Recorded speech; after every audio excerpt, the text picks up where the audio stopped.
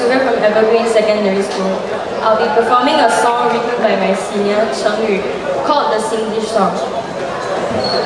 Cheng Yu wrote this song to tell others that Singlish is something unique about our Singapore culture and that we should not look at it with disdain or want to eliminate its existence.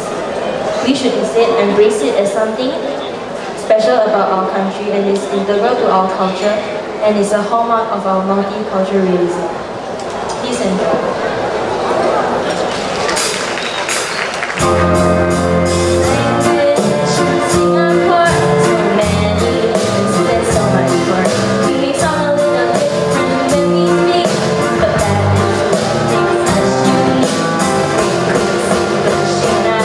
Please